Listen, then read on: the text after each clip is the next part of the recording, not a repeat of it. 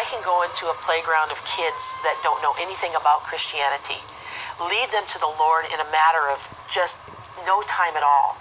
And, and just moments later, they can be seeing visions and hearing the voice of God because they're so open. They are so usable in Christianity.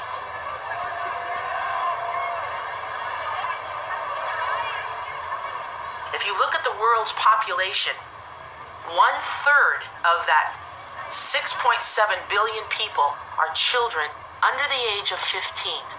One third. Where should we be putting our efforts? Where should we be putting our focus? I'll tell you where our enemies are putting it. They're putting it on the kids. They're going into the schools. You go into Palestine, and I can take you to some websites that will absolutely shake you to your foundations and show you photographs of where they're taking their kids to camps like we take our kids to Bible camps, and they're putting hand grenades in their hands. They're teaching them how to put on bomb belts. They're teaching them how to use rifles. They're teaching them how to use machine guns. It's no wonder, with that kind of intense training and discipling, that those young people are ready to kill themselves for the cause of Islam.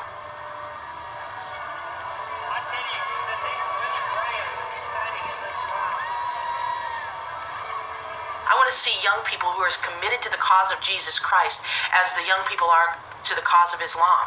I want to see them as radically laying down their lives for the gospel as, as they are uh, over in, in Pakistan and in Israel and, and Palestine and all those different places, you know, because we have, excuse me, but we have the truth.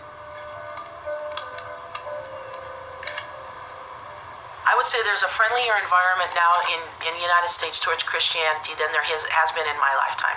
And a lot of it has to do, just in the last few years, has to do with uh, President Bush. He has really brought some real credibility um, to the Christian faith. He's been very open, blatantly open about his faith in God. This moment right now, today, is a fulfillment of prophecy. We've got to stand up and take back the land.